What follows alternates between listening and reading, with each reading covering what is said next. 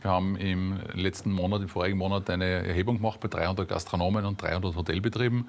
Und der Sukkus, den man daraus schließen kann, ist ja, die Unternehmerinnen und Unternehmer in der Gastronomie und Hotellerie schauen äh, mit positiv in die Zukunft. Das ist ein guter Geschäftsverlauf. Aber die Umsätze steigen auch. Aber wir haben das Thema halt, dass trotz steigender Umsätze die Kostenschere dermaßen aufgegangen ist, dass in letzter Konsequenz der Gewinn ziemlich einbricht. Wenn man das nehmen will aus den Bilanzen, aus den Bilanzauswertungen des letzten Jahres, da haben wir ungefähr 10 Prozent mehr Umsatz gemacht, haben aber gleichzeitig im GUB äh, zwischen 5 und 7 Prozent verloren. Das heißt, äh, im Großen und Ganzen muss man sagen, steigen zwar die Preise, es sind mehr Übernachtungen auch, und äh, die, die, die, es wird auch konsumiert, ja, nur zurückhaltend konsumiert leider in der Gastronomie. Aber das Thema ist halt, dass die Kosten diese Preissteigerung total auffressen. Und das halt ein großes Problem, vor allem im, im, ländlichen, im ländlichen Bereich. In der Stadt tut man sich viel leichter, dass man die Kosten auch durchsetzt. Wenn man schaut hier im, in Wien im ersten Bezirk ist natürlich immer Ausnahmezustand, aber dort tut man sich natürlich viel, viel leichter, auch Preise weiterzugeben. Und draußen am Land hat man immer Probleme und da haben wir schon die Thematik, dass die Kosten sozusagen nicht mehr das, was man verdient, abdeckt und daher auch eine steigende Insolvenzquote mhm. und natürlich auch steigende Zahlen bei den Betriebsschließungen im Gasthaus. Genau darauf wollte ich ja kommen. Auf der einen Seite hört man zum Beispiel eben, dass äh, große Ketten wie die Losteria jetzt sich weiter ausweiten und weitere Standorte planen. Auf der anderen Seite kriegt man aber mit, dass die Firmeninsolvenzen durchaus im Ansteigen sind und das vor allen Dingen bei den kleinen und Mittelunternehmen und das eben auch im Gastronomie- und im Tourismusbereich. Dazu kommt jetzt eben auch das Airbnb-Thema für viele. Airbnb, wo viele irgendwie sagen, mit den neuen Regelungen fallen da auch Umsätze weg, da kommen auch wieder weniger Touristen ins Land. Ist es für Sie ein bisschen Schwarzmalerei oder glauben Sie, das Ganze wird sich wiederholen, wenn die Wirtschaft aufhört zu stagnieren, weil aktuell stagniert sie ja. Naja, ich glaube, es ist jetzt einmal die Phase, wo die Leute diese Preissteigerungen massiv spüren. Auf der anderen Seite aber die Entlastung noch nicht zu 100 Prozent angekommen ist, nämlich privat am Konto. Mhm. Und die Urlaubslust und Urlaubslaune ist ja nach wie vor völlig ungebrochen. Die Leute verreisen ja auch. Wir haben steigende Zahlen auf den Flughäfen, Ankünfte, Abflüge und dergleichen. Aber der Österreich-Tourismus war ja sozusagen im letzten Jahr, bei Ende April, haben wir ungefähr gehabt 10 Millionen Vorausbuchungen für den Sommer. Und wir haben heuer gehabt mit Ende April ungefähr 12 Millionen Vorausbuchungen für den Sommer. Das heißt, der Tourismus läuft. Aber man muss hier ganz klar trennen zwischen touristischen Regionen, zwischen städtischen Regionen und zwischen dem Land. Mhm. Ja. Und die Mehrheit unserer Mitgliedsbetriebe befindet sich halt nochmal sozusagen in der breiten Fläche des Landes. Und dort ist es halt besonders schwer, weil diese massiven Preissteigerungen natürlich auch bei den Konsumenten durchschlagen. Mhm. Und wenn du jetzt da in einer Region deinen Betrieb hast, ein Wirtshaus hast, wo eben du von den Einheimischen von der Region lebst, dann merken wir dort am meisten die Problematiken, dass eben die Betriebe die Kosten nicht weitergeben können, weil sie die Preise nicht anheben können dorthin, wo sie müssten. Das heißt, es gibt dann entweder einen Investitionsstau, du kannst deine Kredite nicht mehr bedienen. Und da muss man auch sagen, wenn man schaut, eine Million Fremdfinanzierung ist jetzt äh, nicht so viel, ja, weil wir sind ja eine, eine, Branche, die ja massiv investieren muss, um dieses hohe Level, das wir international haben, sowohl in Hotellerie als auch als Gastronomie halten zu können. Und da sind allein die Finanzierungskosten bei einer Million nur im Zinssektor von 20 auf teilweise 55, 60.000 Euro gestiegen. Da hast du aber noch kein Kapital rückgeführt. Also, und auch diese 400 Prozent, 300 Prozent, was die Strompreise gestiegen sind, da sind auch viele Betriebe langfristig gebunden, die kommen dort auch nicht raus. Das heißt, dieser Kostenfaktor und auch die Löhne, die ja. natürlich aufgrund der Inflation anheben mussten, das sind jetzt nur die Kollektivlöhne, aber ein guter Koch, ein guter Servicemitarbeiter, ein guter Rezeptionsmitarbeiter oder Mitarbeiterin, Unternehmen, die arbeiten nicht unter dem Kollektiv, sondern die muss man überzahlen. Und dieser Mix aus diesen gestiegenen Kosten äh, fällt am Ende des Tages auf den Gewinn und da ist teilweise nachher keiner mehr da. Oder im Worst Case, wie wir wissen, 22 Prozent mehr Insolvenzen in der Branche.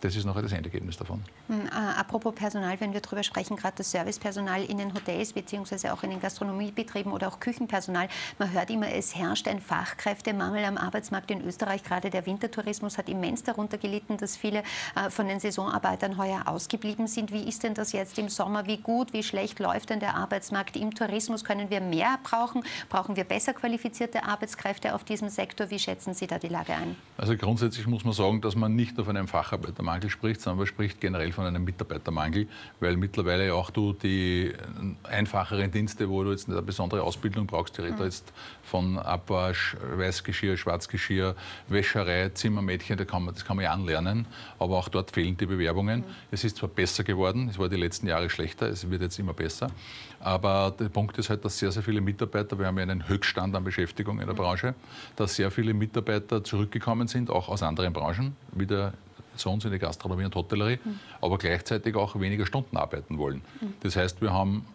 einen Höchststand an Beschäftigung, aber gleichzeitig auch einen Höchststand an Teilzeitbeschäftigten. Und wenn jemand statt 40 Stunden oder 20 Stunden arbeiten will, dann fehlen uns natürlich einfach die Hände. Die sind nicht da und darum brauchen wir viel mehr Mitarbeiter. Und wir haben noch ein Thema, dass massiv in die Qualität investiert wird weil wir können im internationalen Wettbewerb nur mehr mithalten durch Qualität. Das heißt erstens äh, sozusagen die Bausubstanz, die Zimmerausstattung, Wellnessbereiche und dergleichen, aber auch die Restaurants natürlich müssen attraktiv sein für den Konsumenten. Und auf der anderen Seite brauchst du aber natürlich auch hochqualifiziertes Personal, das dem Gast in diesem Ambiente auch vermitteln kann, dass das hier alles stimmig ist. Ja? Und äh, das kostet natürlich Geld, diese Mitarbeiter. Das zahlen wir auch gerne. Aber wir brauchen auf der anderen Seite auch den Konsumenten, der sich das leisten kann und auch leisten will. Auf der anderen Seite, wenn wir gerade, weil Sie es angesprochen haben, die Qualität da muss gleich bleiben, beziehungsweise muss immer auf internationalem Standard hoch sein. Früher hat es gereicht, wenn du jetzt eine Zitronenscheibe auf der Schnitzel gelegt hast und jeder hat gesagt, wow, ist das schön. Da kam noch die klassische Petersilie dazu und am Tisch Maggi, das war normale bürgerliche Küche, war das durchaus okay. Ja. Mittlerweile ist das lange nicht mehr der Fall. Jeder erwartet sich Erlebnisse in der Gastronomie. Das beginnt schon bei den Gerichten, die immer raffinierter werden, die immer aufwendiger auch eben in der, im Anrichten sein müssen, wo die Küche immer kreativer arbeiten muss, aber auf der anderen Seite eben auch die Qualität nicht zurückbleiben darf. Alle verlangen schon Biofleisch, Biogemüse, was ja auch gut ist, aber was eben ebenfalls dazu führt, dass die Kosten natürlich ins Unermessliche hochschnellen. Vor welchen größten Herausforderungen steht denn hier die Gastronomie im Bereich der Innovationen, um eben international gesehen wettbewerbsfähig zu bleiben? Weil früher war die österreichische Küche was Besonderes, so wie die französische Küche. Und heute kann man halt schon überall alles kriegen und ist nicht mehr mit ähm, Wiener Schnitzel als Alleinstellungsmerkmal wettbewerbsfähig.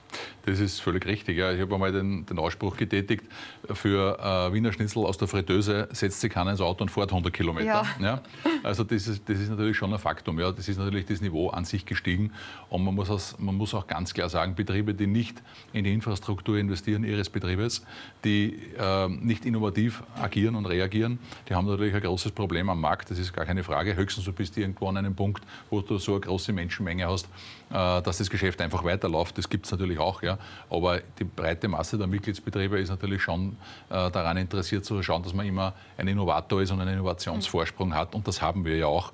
Denn wenn man sich anschaut, wir haben über die letzten 10, 20, 30 Jahre zurück massiv an Gastwirtshäusern verloren, also an Wirtshäusern am Land verloren, aber auch in der Stadt hat es ja jede Menge gegeben.